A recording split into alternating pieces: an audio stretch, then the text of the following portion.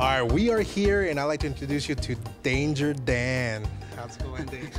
well, we're having fun at ZapCon. This is our second day, second to last day.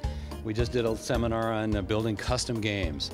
And everybody, there isn't a pinhead I know that hasn't had a great idea for a game that they wanted to make, whether it's from a, a movie they liked, a band they liked, or something simple, or a, a, racing game that was different or something. So, and it can be fun, and it can be, and you too can make a custom game. Definitely. oh, wait, I got the jacket. This is the, uh, this is the, the, classic pinball jacket. So we got this wizard thing. So, ready? There you go. So uh -oh. Set up here. Oh, oh there you go. nice. Yeah, these are. Uh, this is there's a there's a big story behind the jackets, but that we're having cool. fun here, and um, I uh, I like the so like I said we're gonna do. I don't want to give it away, but something different. We'll wait for next yeah, year, next and year. actually we're looking forward to it, so we can check it out. It had a second level. Okay, so here's a here's a play playfield from uh, WWF wrestling or whatever, and you know it's kind of a nothing game, but the idea is that wow, I can take and make something really cool out of this. And see, so there was a basically a flipper here, three drop targets, and this loop shot. He once was talking about making a game that was a racing, drift racing. So wow, here's the here's your drift loop right here. So the idea is you're, you're playing it, and you build your game um, out of some existing machine, and it has to be pre-alphanumeric and pre-speech, so that you can just use the existing programming. So. Uh, so here we are, have a second level. Now here's the exact same playfield that's been buffed off. So I can add my own graphics. So, okay, so here he's got his flipper, this is your drift lane, this is your three drop targets, a kickback, whatever, and then you lose the ball here, here, and it feeds back to the main playfield and stuff. So, and doing custom games, uh, it can be simple or complicated. There's this inverse rule though, the more complicated, the more complicated, the less likely you are to do it actually finish it. Talk is cheap. That's why this game, this Edge, we built this for a radio station contest, and we did it in two weeks. And um, if it was any more hairy than this, it wouldn't have gotten done. Making handmade plastics to match the logo, doing the Starry Night backglass, kind of cheap and dirty, but it worked. And making, uh, using your creativity. And I like his idea about the drift game because how many car racing games are out there? So he's going to take a ground shaker or a another racing game, pre-digital, pre-alphanumeric, pre-speech. Oh, man, these other ones. And uh, so see, and then you take what you've got. So okay, this game was a sharpshooter, and so we said, okay, this originally spelled shooter, so I'm going to change it to spell the edge. And oh, there's four bumper caps. So K E D J, those are the call letters. And oh, there's five rollovers. We'll spell radio.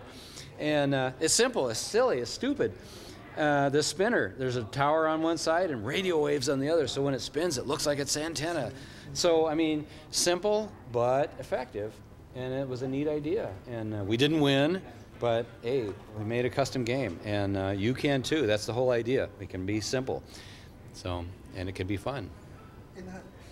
Uh, I got a question for you, Dann. Um, uh, how about Arduinos? Those are that's the next wave. I, I actually oh, go ahead. Go ahead. Okay. Um, no, we were talking about the P-ROC systems and and this new programming. But again, there's a certain amount of programming that goes with it, and unless you get involved. But that's where your speech mods come from. That's where your lighting mods come from. That's where you can take and go past the limitations of the programming that's already there. There's a game called Paragon, and I'm working on. And, and we talk about finding what I call patio games, the ones you can buy on Craigslist for cheap because they've been left outside. And the cabinet's already roached, so it's not going to take anything. And you're not going to feel bad trashing a crummy game. And let's take the layout. So here's a game called Paragon. So it's got, okay, Paragon, that's, you know, seven letters. And what can I make out of seven letters, you know?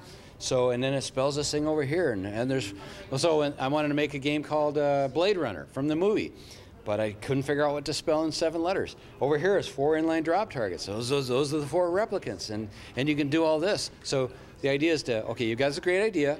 Now find a game that it'll fit on, and then make it work.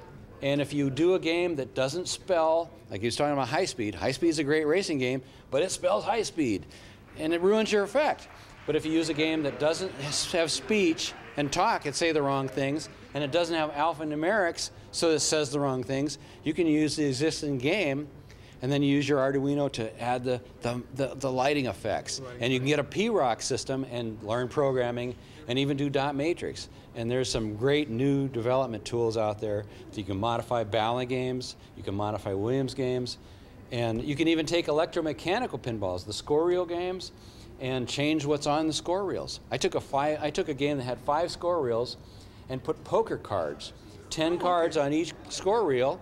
It was called pinball poker, and you tried to make the best hand with five score reels, looking up all the time to see where you're at. Right. If I got three of a kind, bam, you slapped the stop button, and then and you froze it, and then the next player had to beat your hand. See, with 52, 52 cards in a deck, 50 points on the score reels. So that was just this idea: throw away two cards. Uh, a lot of people don't like electromechanicals, but they're they're good. They're simple, and maybe next year I'll finish Killer Bees and bring it to the show. Killer Bees, nice. Killer Bees. That so. was the next question I was going to ask you. What's the next project you're doing? Well, uh, I don't want to give it away. I got, yeah, no, there'll be, every year, now that we're doing Pinball Rodeo again, thanks to ZapCon, we'll come up with a neat concept every year. Nice. So And it can be something simple like, like, uh, like, like I did on Skateball and putting little bitty flippers on it and calling it tiny flippers Right. and making it, so a mod or an update or, I mean, it can be elaborate like some of these I've seen or it can be just something simple like a silly idea. So we'll have to wait till next year. Yep. So, We're thank you. looking forward to it. Thank you so much.